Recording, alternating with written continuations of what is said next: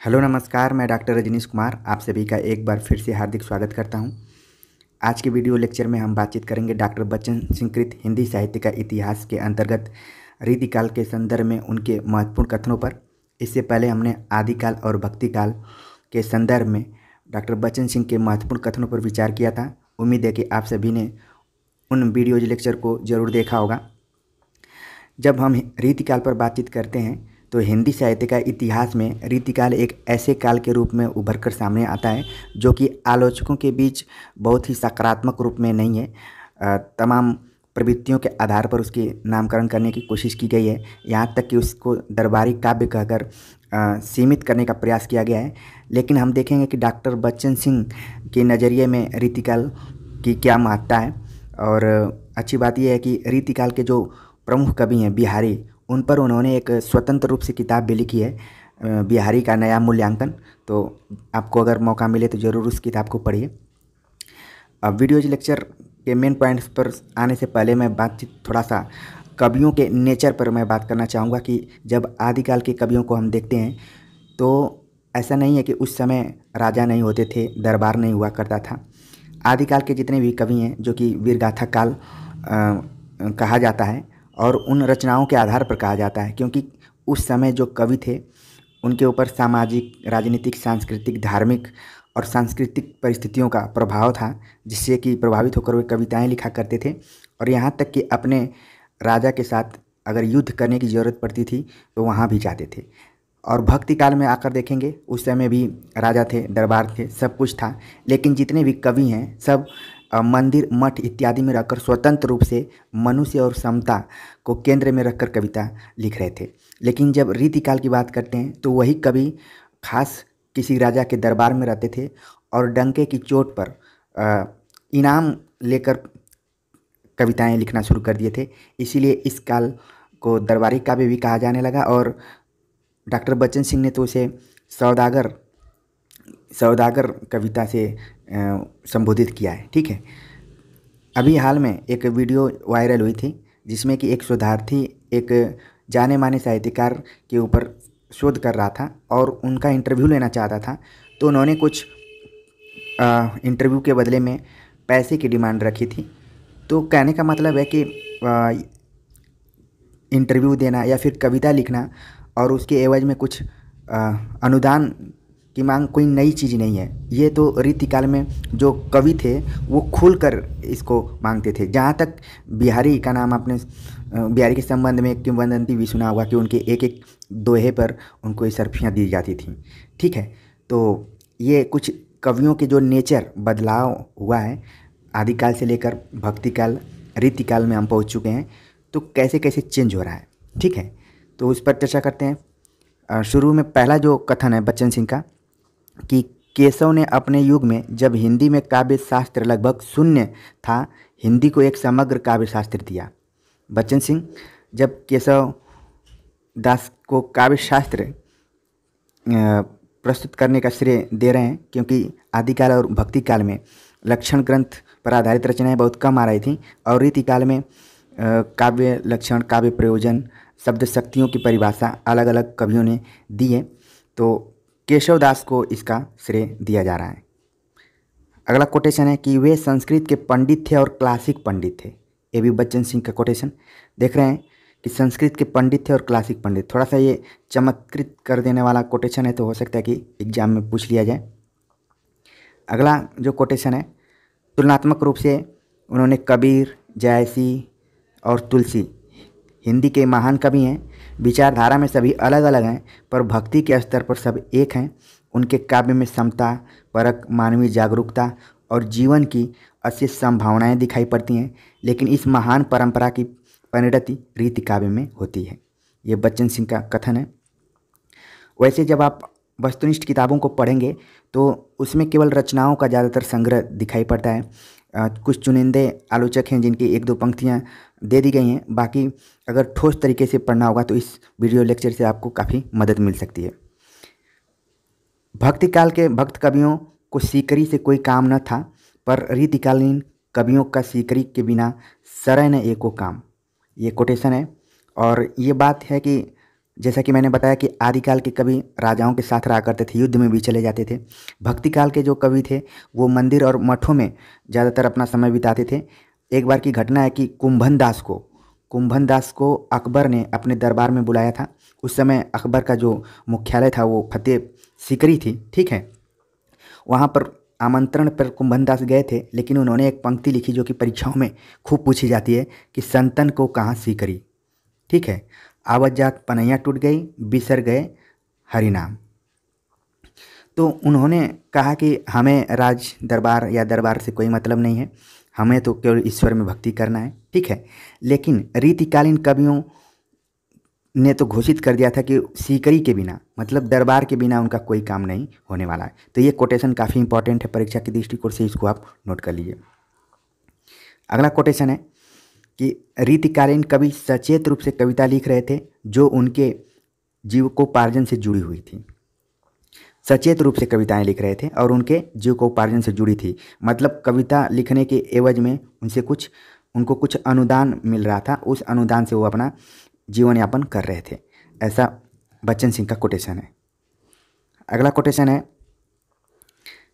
कि कवि लोग कविता के सौदागर थे। देख रहे हैं, हो सकता है कि इतना दूर ही पूछ लिया जाए कि किसका कोटेशन है। कवि लोग, कविता के सौदागर थे। सौदागरी पूंजीवाद के युग का प्रा, प्रादुर्भाव हो चुका था। देव ने सुकवि को कविता का सौदागर कहा है।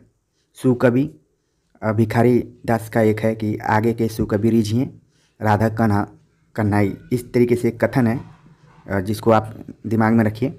तो सुकवि, देव ने कहा था कि सुकवि को कविता का सौदागर कहा गया है। इस सौदागर कवि ने भोगीलाल जैसे रईस से लाखन खर्च रच आखर खरीदे हैं। पद्माकर ने तो डंके की चोट पर कहा था कि आखर लगाएँ लेत लाखन की समा हो। तो आप देख रहे हैं कि जो रीतिकालीन कवि हैं, उनको कोई मतलब दिक्कत नहीं है। अगर वो दरबार में हैं और दरबार में कविता लिखने से अगर उनको कोई अनुदान मिल रहा है तो कोई दिक्कत नहीं है। आगे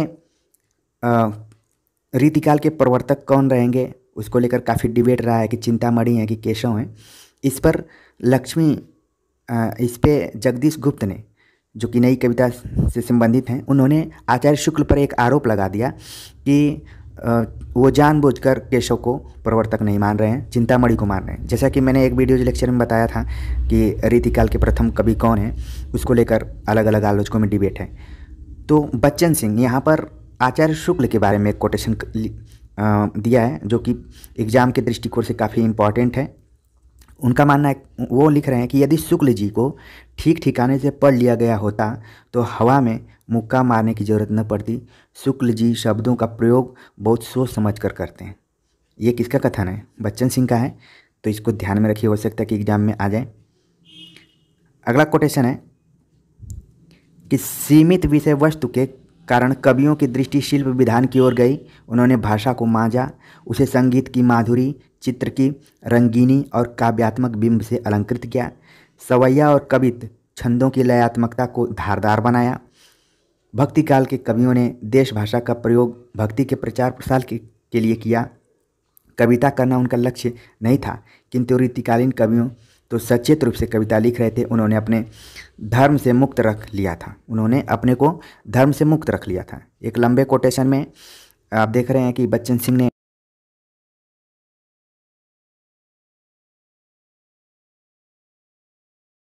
वीडियो लेक्चर में काव्य प्रयोजन के बारे में चर्चा किया था। यहाँ पर आप देख रहे हैं कि भक्त कवि जितने थे, उनके काव्य प्रयोजन का उद्देश्य अलग था, जबकि रीतिकाल के कवियों का काव्य प्रयोजन अलग था। अगला पॉइंट है कि भक्ति में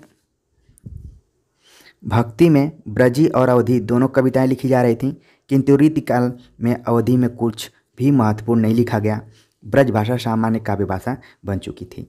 तो अब जब भक्ति काल था तो तुलसीदास इत्यादि ने ब्रज और अवधि दोनों में रचनाएँ की, लेकिन रीतिकाल में आकर ब्रज भाषा ही मेन भाषा के रूप में रह गई। अगला कोटेशन है बच्चन सिंह का। व्यंग्यार्थ कौमुदी व्यंग्यार्थ कौमुदी जो कि प्रताप शाही की रचना है ठीक है? आ, उसके बारे में लिख रहे हैं कि व्यंग्यार्थ कौमुदी में पहले लक्ष्य है और बाद में लक्षण। ये थोड़ा सा जो ग्रंथ है आ, अपने परिपाटी से अलग है इसलिए इम्पोर्टेंट है। लक्ष्य अंश मूल नया प्रयोग कहा जा सकता है जो परिपाटी विरुद्ध है। ठीक है? तो ये बच्चन सिंह का कथन है। और इस रचना को भी ध्यान में रखने की ज़रूरत है। हो सकता है कि परीक्षा में आ जाए। फिर से बच्चन शुक्ल जी के बारे में एक पॉजिटिव कमेंट्स यहाँ पर लिख रहे हैं कि शुक्ल जी के विरोध में मत व्यक्त करते समय उन्हें कई बार पढ़ लेना चाहिए। अगर कोई भी शुक्ल जी की आलोचना कर रहा है तो उसको पहले ठीक से पढ़ने की ज़रूरत है। ठीक है, ये बच्चन सिंह का हो सकता है कि एग्ज़ाम में आ जाए। अगला कोटेशन है कि इनकी प्रखर प्रतिभा ने मानव पद्माकर की प्रतिभा के साथ साथ रीतिबद्ध काव्य कला को पूर्णता पर पहुंचाकर छोड़ दिया। ये जो कोटेशन है, ये प्रताप शाही के संदर्भ में है, ठीक है? कहा जा रहा है कि जो इनकी प्रखर प्रतिभा थी, वो पद्माकर की प्रतिभा के साथ साथ रीतिबद्ध काव्य कला को पूर्णता पर पहुंचाकर छोड़ दिया। ये कथन है बच्चन सिंह का। आगे छंदों में न कहीं फालतू शब्द हैं और न दुरारूण कल्पना। वाक्य, विन्यास में इतनी सफ़ाई बहुत ही कम कवियों में मिलेगी। शुक्ल जी ने इनको पद्माकर के समकक्ष बड़ा कवि माना है। ठीक है, शुक्ल जी इनको पद्माकर के समकक्ष बड़ा कवि मानते हैं। ये भी प्रताप शाही के लिए ही है।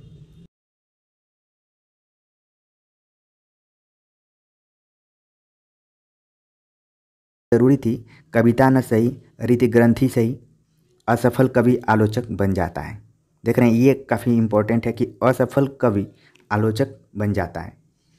आ, देखा होगा आपने कि जितने भी बड़े बड़े आलोचक हुए हैं उन्होंने पहले कविता लिखना प्रारंभ किया था लेकिन उसमें अगर सफलता नहीं मिली तो वो जो कवि कविता लिख रहे थे उनकी आलोचना करना शुरू कर दिए मतलब उनके गुण दोष को बताना शुरू कर दिए जो कि कुछ ज़्यादा आसान होता है।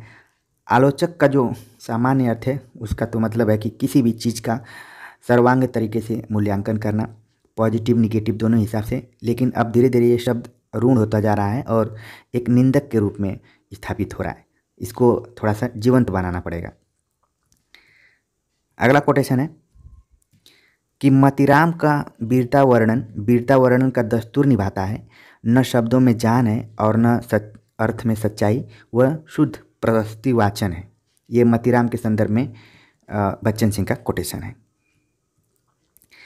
अगला कोटेशन है कि जब हिंदी काव्य नायिका भेद और नक्सिक वर्णन में लगा हुआ था, भूषण ने इतिहास की उस प्राणवान धारा को पहचाना जो औरंगजेबी अत्याचार के विरुद्ध बह रही थी। तो बच्चन सिंह भूषण के बारे में बता रहे हैं कि जब हिंदी काव्य नायिका भेद और नायिका वर्णन में लगा हुआ था, तब भूषण ने अपने इतिहास के प्रति जागरूकता रखते हुए वीर रस से संबंधित कविताएँ लिखना शुरू किए। ठीक है थोड़ा सा तो भूषण का रोल अलग रहा है रीतिकाल में, उसी की तरफ़ संकेत कर रहे हैं। अगला कोटेशन भूषण से ही है। भूषण ने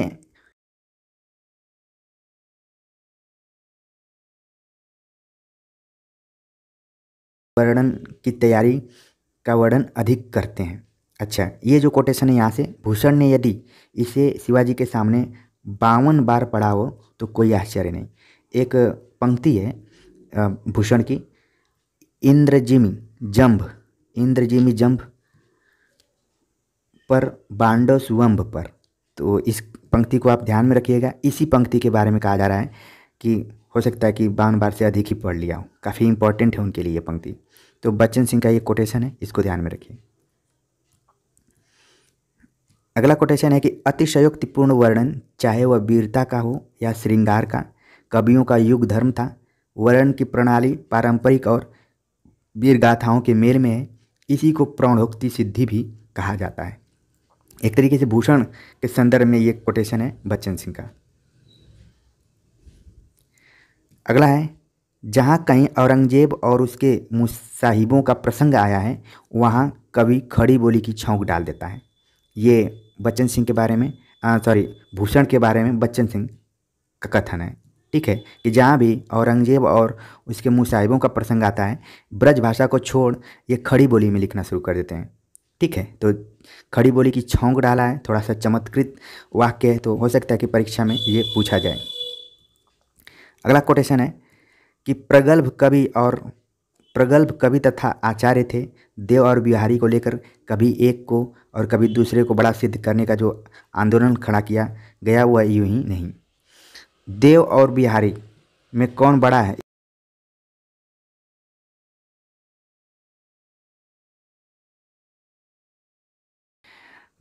का मूल्यांकन किया इसके बाद लाला भगवान दीन ने, फिर कृष्ण बिहारी मिश्र ने। इन लोगों ने इस पर काफ़ी लिखा है, जो कि परीक्षा के दृष्टिकोण से भी ज़रूरी है और ये जानना ज़रूरी है कि रीतिकाल में खासतौर से दो कवियों को लेकर काफ़ी डिबेट रहा कि कौन बड़ा है इसमें। और बच्चन सिंह ने तो बिहारी पर स्वतंत्र एक किताब ही लिख दिया है, बिहारी का नया मूल्यांकन। ठीक है? तो ये भी ज़रूरी है किताब पढ़ना। अगला जो कोटेशन है कि उनकी कविताओं में स्वच्छंदता की जो प्रवृत्ति मिलती है, वह उन्हें घनानंद के निकट खड़ी कर देती है। ये देव के बारे में कोटेशन है।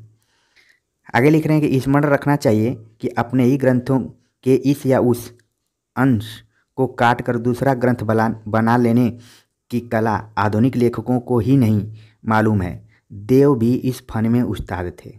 देख रहे हैं, थोड़ा सा अलग ढंग का ये सेंटेंस है और परीक्षा में इसी तरीके के सेंटेंस आ जाते हैं और पूछ लिया जाता है कि ये किसका कथन है। तो बच्चन सिंह, अगला है कि देव जी के यहाँ व्यंजना से तात्पर्य पहली बुझौल वाली वस्तु व्यंजना का ही जान पड़ता है। ये बच्चन सिंह का कथन है, देव के संदर्भ में। अगला कोटेशन है, देव का महत्व आचार्य होने में नहीं, बल्कि श्रेष्ठ कवि होने में है। जहाँ तहाँ उनमें जो पेचीले मजमून दिखाई पड़ते हैं, वे उनके आचार्यत्व के फल हैं। ये बच्चन सिंह का कोटेशन है। और एक वाक्य का कोटेशन देखिए। वस्तुतः वे मादक सौंदर्य के कवि हैं। कौन?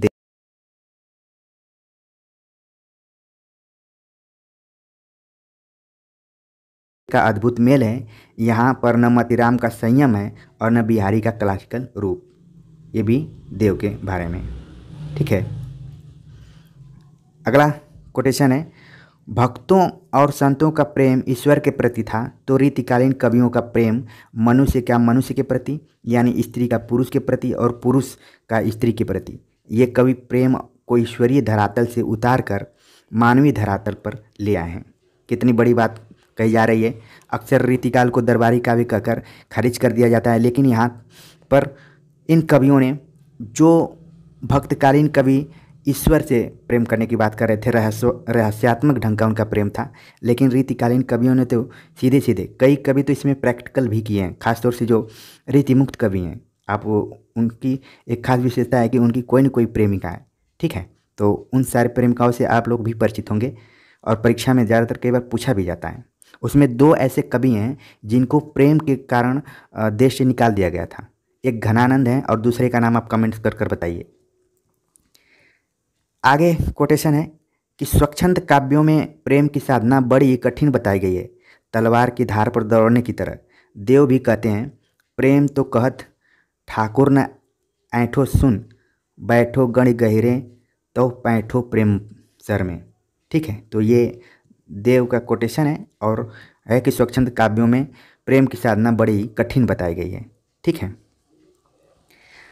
आगे कोटेशन है कि शास्त्र में केशव की तरह क्लासिकल हैं तो काव्य में बहुत कुछ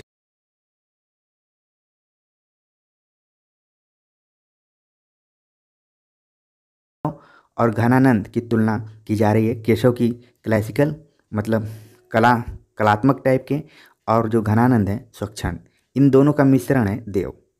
ऐसा कहना है बच्चन सिंह का। अगला कोटेशन बिहारी से बल्कि देव के बारे में ये कि बिहारी का प्रेम क्रीड़ात्मक है तो देव का आवेगात्मक है। यहाँ पर भी तुलना की गई है बिहारी और देव में। ठीक है? बिहारी का प्रेम क्या है? किरणात्मक, और इनका प्रेम जो है, आवेगात्मक। अगला कोटेशन है, सौंदर्य का यह रंगमय वर्णन मतिराम और देव की नायिका के सौंदर्य वर्णन से भिन्न है। इस वर्णन में कभी तटस्थ है। मतिराम की नायिका में वीर विक्षोभन की क्षमता है और देव की नायिका में नयनोत्सव। तो आप देख रहे हैं कि नायिकाओं की यहाँ पर तुलना की गई है। मतिराम देव, ठीक है? तो बताया गया कि मतिराम में क्या है? वीर विक्षोभन है और देव में क्या है? नैनोत्सन मतलब केवल आँखों का मिलन है। आगे लिखते हैं फाग उनका सबसे प्रिय त्यौहार है। ये पद्माकर के बारे में कोटेशन है। आप जानते हैं कि पद्माकर, जो कि रीतिकाल के अंतिम आचार्य कवि माने जाते हैं और उन्होंने तीज त्यौहार पर्वों पर ज़्यादातर कविताएँ लिखी हुई हैं, ठीक है? तो उनके तरफ़ संकेत हैं। आगे लिख रहे हैं कि शिशिर के पाला के विरोध में मसाला जुटाने में पद्माकर किसी से उन्नीस नहीं है, बल्कि बीस ही होंगे। ये बच्चन सिंह पद्माकर के बारे में कह रहे हैं। शिशिर एक ऋतु है, ठीक है तो उसका वर्णन करते हुए किस तरीके से मसाला मतलब चमत्कारिक ढंग से अतिशयोक्तिपूर्ण वर्णन अगर पद्मा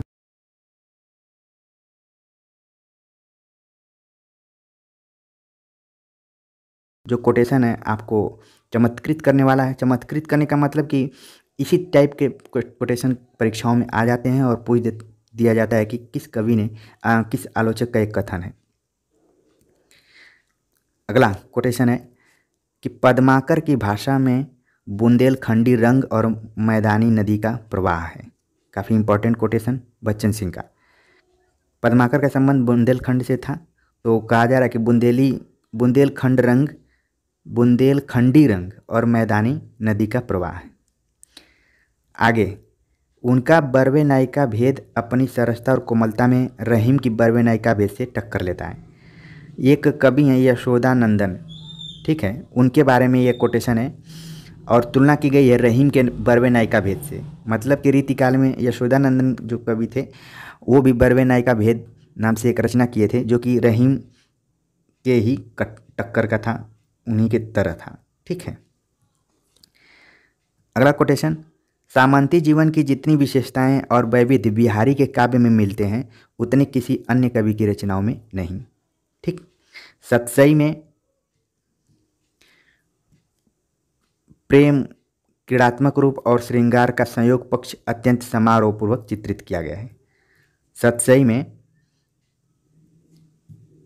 सत्सई में प्रेम का क्रीड़ात्मक रूप और श्रृंगार का संयोग पक्ष अत्यंत समारोहपूर्वक चित्रित किया गया है। ये कहना है बच्चन सिंह का। आगे लिख रहे हैं कि बिहारी ऐसे कवि हैं जिन्होंने ग्रामीण संस्कृति के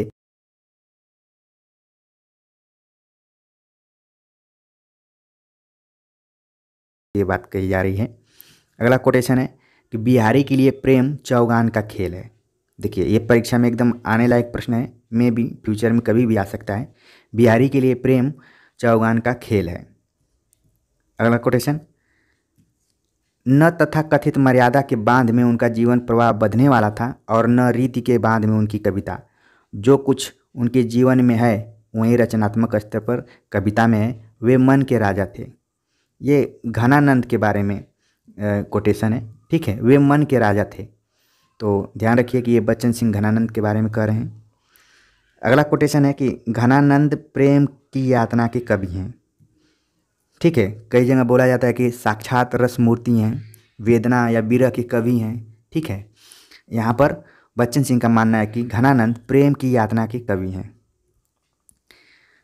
अगला कोटेशन है, रूप का निरखना एक बात है और देखने पर हर बार नया लगना दूसरी बात है। मतलब सौंदर्य की तरफ़ संकेत कर रहे हैं कि रूप का निरखना एक बात है और देखने पर हर बार नया लगना दूसरी बात है। काफ़ी इंपॉर्टेंट बात, बच्चन सिंह। यदि बिहारी देव घनानंद के अप्रस्तुतों को एक साथ रख दिया जाए तो कवियों की अपनी विशेषताओं के साथ तत्कालीन युग का अंतर्विरोध भी स्पष्ट हो जाता है। बिहारी ने मन की स्थिति को उजागर करने के लिए तुरंग, मृग, हाथी आदि अप्रस्तुतों का को चुना। ठीक है? तो देव ने इसी काम के लिए मधुमक्खी,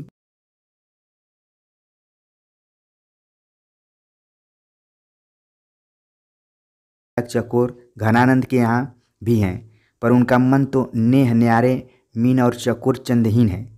तुलसी का चातक दृष्टांतात्मक है तो घनानंद का रचनात्मक है। देखिए, ये हो सकता है कितना दूर ही पूछ लिया जाए। क्योंकि जितने भी ये जो पैराग्राफ है, थोड़ा सा बड़ा है कथन, लेकिन इसमें तीन चार कवियों की तुलना की जा रही है।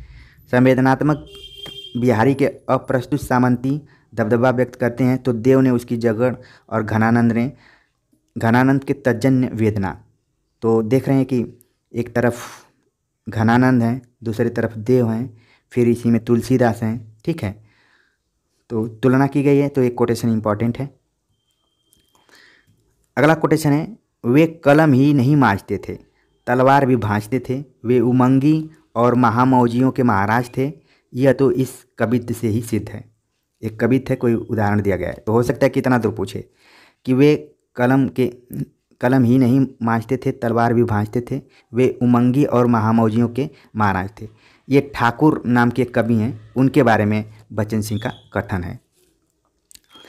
फ़र्क यह है कि एक आजीवन प्रेमाग्नि में झुलसता रहा और दूसरे को अपनी प्रेमिका का संग साथ मिला। ये घनानंद और बोधा के प्रेम के बारे में कोटेशन है बच्चन सिंह का, कि जो घनानंद है, आप जानते हैं कि इनको देश से निकाल दिया गया था और देश से जाते हुए इन्होंने, देश मतलब उस राज्य से मतलब जो भी मोहम्मद शाह रंगीला थे, उन्होंने अपने राज्य से को निकाल दिया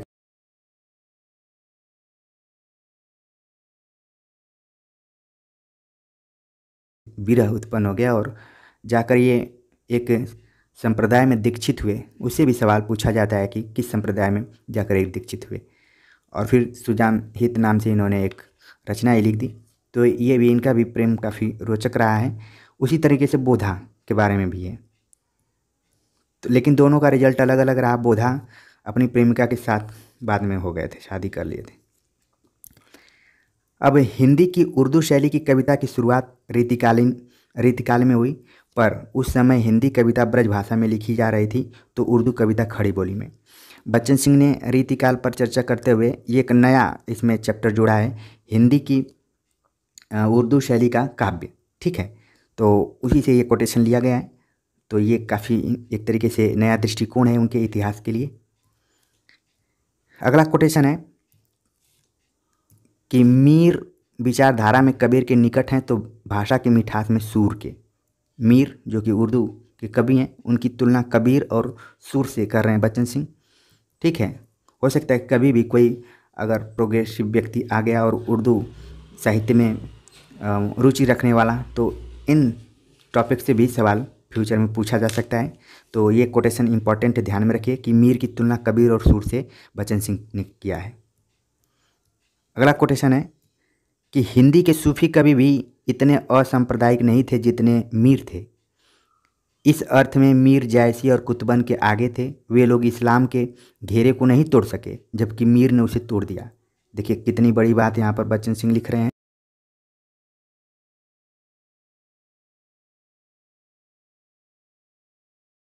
होते हुए उन्होंने तोड़ दिया था। तो ये काफ़ी अच्छा कोटेशन कबीर झपट्टा मार चोट करते हैं तो मीर खिजा खिजा कर रुला रुला कर मारते हैं। ये तो और ख़तरनाक कमेंट ठीक है, टिप्पणी कथन है। कबीर से भी आक्रामक थे मीर। देख रहे हैं। तो ये कोटेशन याद रखिए परीक्षा के दृष्टिकोण से। मीर एक और हिंदी भक्त कवियों की परंपरा से जुड़ते हैं तो दूसरी ओर आधुनिक हिंदी कविता के श्रेष्ठ कवि निराला से, वैसी ही हेकड़ी, वैसी ही बे, बेदिमागी, वैसी ही मुफलिसी, वैसा ही अहम। ये तो मीर काफ़ी इम्पोर्टेंट उर्दू के कवि हैं और उनकी तुलना लगातार बच्चन सिंह, कबीर, निराला इत्यादि से कर रहे हैं। ठीक है तो ये कोटेशन ध्यान में रखिए। आगे, अगला कोटेशन है किसमें न जैसी का सा पारस रूप मिलेगा, न पद्मावत में प्रयुक्त जनता की भोली भाली प्यारी भाषा। ये एक तरीके से उर्दू कविता की तरफ़ उनका संकेत है। बच्चन सिंह का ये कोटेशन है। आगे, सबसे बड़ी बात यह है कि हिंदी में जहाँ एक और नायिका भेद लिखा जा रहा था, वहाँ दूसरी ओर इतिहास की नब्ज पर हाथ रखे। तो देख रहे हैं कि रीतिकाल में नायिका भेद के साथ साथ जो उर्दू के कवि थे उस समय उस समय लिख रहे थे उनके कविताओं में इतिहास चेतना दिखाई पड़ती है। उसी की तरफ़ बच्चन सिंह संकेत कर रहे हैं। ठीक कोटेशन था। आ, हुए गिरधारी बनिया व्यापारी ये सब वर्णाश्रम हिंदा हिंदुत्व की एकता की बात कर रहे थे। तो इस तरीके से हमने पूरा रीतिकाल पर विचार कर लिया।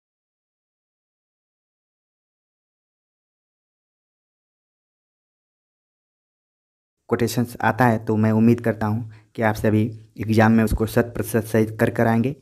और एक तरीके से हमने दो हिंदी साहित्य इतिहासकारों पर विधिवत तरीके से अध्ययन कर लिया है। पहला तो आचार्य रामचंद्र शुक्ल के हिंदी साहित्य के इतिहास पर मैंने काफ़ी गंभीर और विस्तृत विवेचन किया है। आप प्ले लिस्ट में जाकर ज़रूर उसको देखिए।